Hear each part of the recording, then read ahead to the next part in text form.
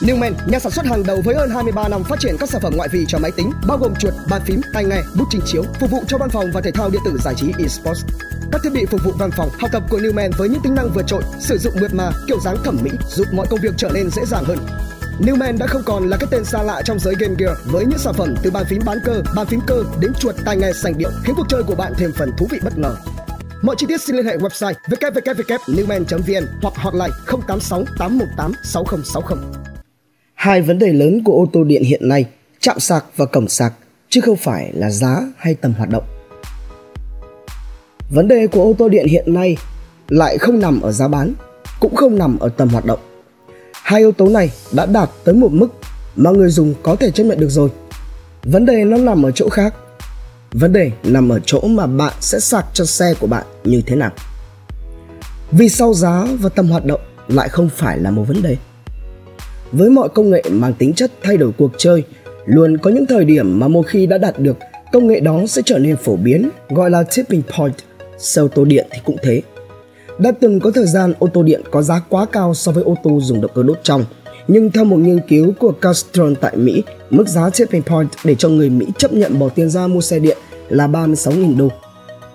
Hãy nhìn thử mức giá của ba chiếc ô tô điện đang bán chạy hiện nay ở Mỹ thì bạn sẽ thấy rằng điểm tipping point gần như đã đạt được. Hoặc là như chiếc VinFast F E34 tại Việt Nam, mức giá của nó thậm chí là còn thấp hơn con số này nhiều, chỉ khoảng 600 triệu đồng, tức là khoảng 26.000 đô la Mỹ mà thôi. Vậy thì, giá không phải là thứ đang kiềm chân người dùng mua xe điện. Thế vậy có phải là vấn đề khoảng cách di chuyển hay không? Tipping point cho chỉ số này là 469 km cũng với ba chiếc xe mà chúng ta đã đưa ra ví dụ thì khoảng cách di chuyển của Tesla Model 3 là 381 km, Volt là 417 km, cũng khá là gần. Hay như chiếc VinFast là 300 km cho mỗi lần sạc.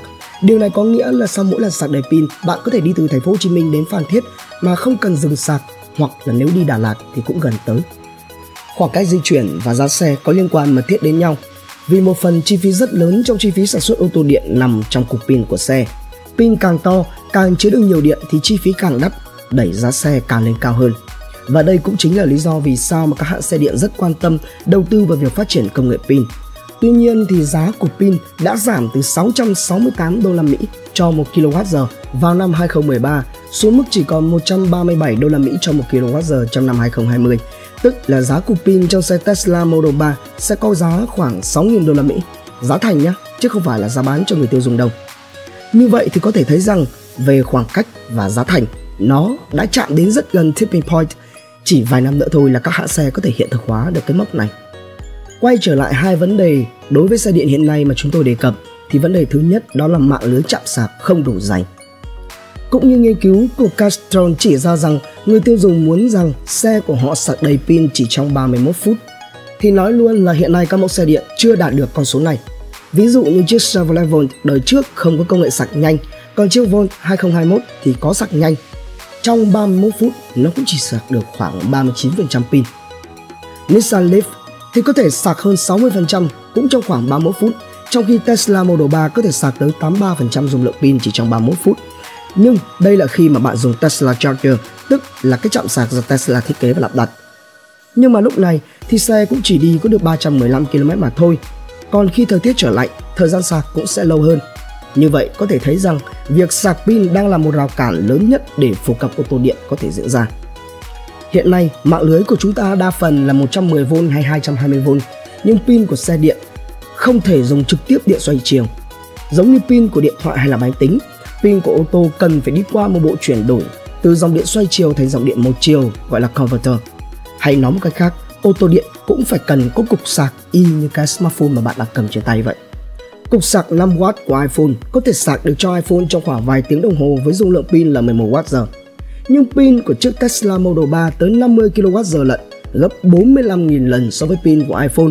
Vậy nên, bộ chuyển đổi dòng từ xoay chiều thành một chiều cũng phải mạnh hơn thì mới sạc nhanh được. Tesla thì hiện đang cung cấp hai giải pháp cho việc này. Giải pháp thứ nhất là ngay trên chiếc Tesla Model 3 có một bộ chuyển đổi điện nó sẽ biến dòng điện xoay chiều từ ổ cắm điện trong nhà bạn trở thành dòng điện một chiều tương thích với pin trên xe. Ở công suất hoạt động lớn nhất, bộ chuyển đổi điện này có thể sạc đầy cho xe trong khoảng 10 tiếng. Lợi ích của giải pháp này là có thể tạo ra được các bộ sạc rẻ lấy nguồn từ lưới điện dân dụng và nó phù hợp để sạc xe qua đêm tại nhà. Nhưng nếu như bạn đang đi xe trên đường xa, chẳng hạn như đang đi du lịch mà hết pin, thì bạn khó có thể nào đợi được 10 tiếng đồng hồ được. Xe xăng thì giải quyết vấn đề này rất đơn giản, chỉ cần bạn ghé vào một trạm xăng, đợi vài phút đổ đầy bình thế là chiếc xe lại có thể đi được thêm 300 đến 400 km nữa. Thế nên là Tesla mới nghĩ ra giải pháp thứ hai, đó là tạo ra các trạm sạc nhanh.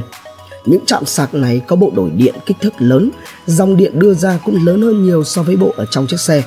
Khi mà bạn sạc điện ở những trạm sạc thì nó sẽ bỏ qua bộ đổi điện trong xe và sạc pin thẳng luôn do dòng điện đưa vào đã là dòng một chiều rồi. Nhưng vấn đề là mỗi trạm sạc nhanh lại có giá từ 40 cho đến 50 nghìn đô. Đó là còn chưa kể tới công lắp đặt, bảo trì bảo dưỡng. Thế nên việc gắn trạm sạc như thế này ở nhà là điều không hợp lý. Tesla có xây dựng một số khu vực bãi đậu riêng với trạm sạc nhanh để cho nhiều xe có thể dùng chung, từ đó giúp giảm chi phí triển khai sạc nhanh. Nhưng pin sẽ sạc nhanh hơn khi dùng lượng thấp và chậm hơn khi pin gần đầy. Cái quan trọng là pin có thể chấp nhận dòng điện bao nhiêu chứ không phải là đầu vào bao nhiêu. Thế nên người ta mới có tình huống là sạc 50% pin thôi để lái đi tiếp. Khi gần hết pin thì sạc thêm lần nữa lên 50% rồi mới lái tới điểm kết thúc. Việc này sẽ nhanh hơn so với việc là sạc đầy 100% từ đầu. Tất nhiên, cách này thì không thực tế vì không phải lúc nào cũng có thể dễ dàng tìm được trạm sạc trên đường. Nếu như có nhiều trạm sạc hơn thì cách này có thể áp dụng nhưng vì chi phí cho mỗi trạm sạc quá đắt đỏ nên là mạng lưới trạm sạc vẫn đang là một vấn đề hàng đầu các hãng xe điện. Tính trung bình ra, mỗi người Mỹ sống cách chạm xăng chỉ 4 phút lái xe, trong khi khoảng cách tới các trạm sạc của Tesla có thể lên tới 31 phút. Để đạt được mật độ như trạm xăng, Tesla sẽ phải xây dựng 31.251 trạm sạc nhanh, tức là tương đương khoảng 7,8 tỷ đô, bằng 10 lần doanh thu của công ty trong năm 2020. Mà nếu như không bán được xe, thì công ty sẽ lấy đâu ra tiền để xây dựng trạm sạc đây? Mà nếu như không có trạm sạc thì người ta đâu có mua xe. Đây là vấn đề về con gà và quả trứng điển hình.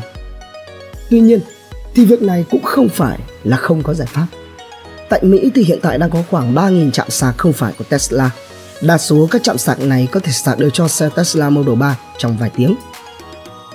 Vấn đề thứ hai đối với xe điện hiện nay đó là cổng sạc không tương thích giữa các hãng xe. Tuy nhiên, điều khổ một nỗi là các trạm này sử dụng các đầu sạc khác nhau nên là xe Tesla không thể lái vào và cứ thế mà cắm sạc vào xe. Tương tự cũng vậy, xe của hãng khác không chỉ đơn giản là có thể lái vào trạm sạc của Tesla để sạc.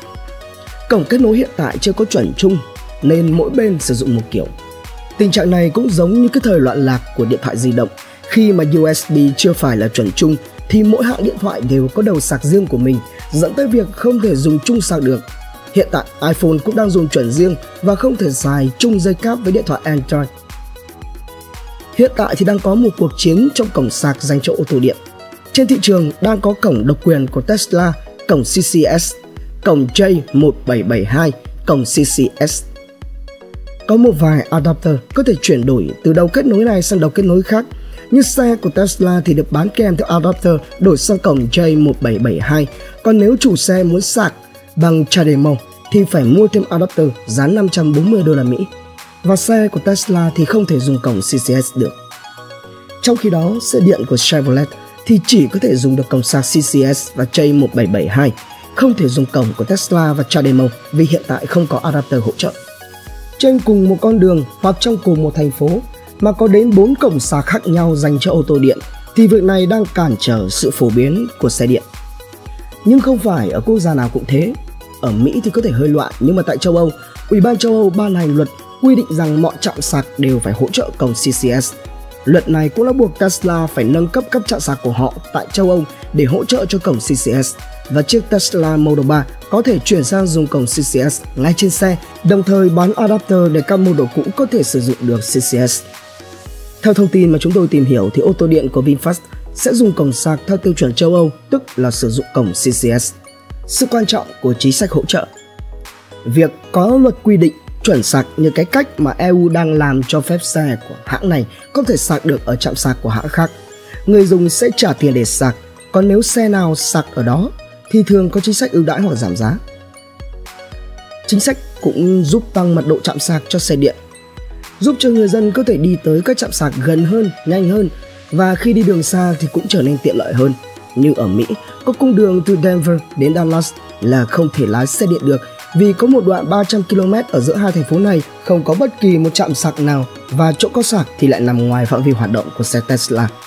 Ngay cả khi Tesla có lắp thêm trạm sạc thì xe của hãng khác cũng không dùng cái được do cổng sạc không tương thích.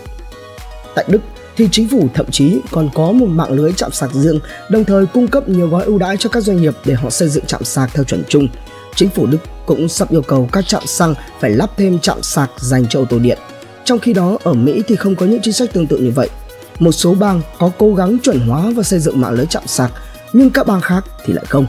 Tại Úc, Nga hay nhiều quốc gia khác thì cũng đang gặp phải vấn đề tương tự vì không có chính sách tốt từ phía chính phủ. Tóm lại là người dân sẽ không mua ô tô điện nếu như không thống nhất được chuẩn sạc cho xe. Thế nên, chính sách hỗ trợ dành cho việc xây dựng, phát triển mạng lưới chạm sạc chứ không cần phải giảm giá cho xe vì xe điện hiện tại đã rẻ rồi và tầm hoạt động cũng đã đủ xa. Wendover Production, Duy Luân, Tinh tế, độc đáo CV tổng hợp và đưa tin.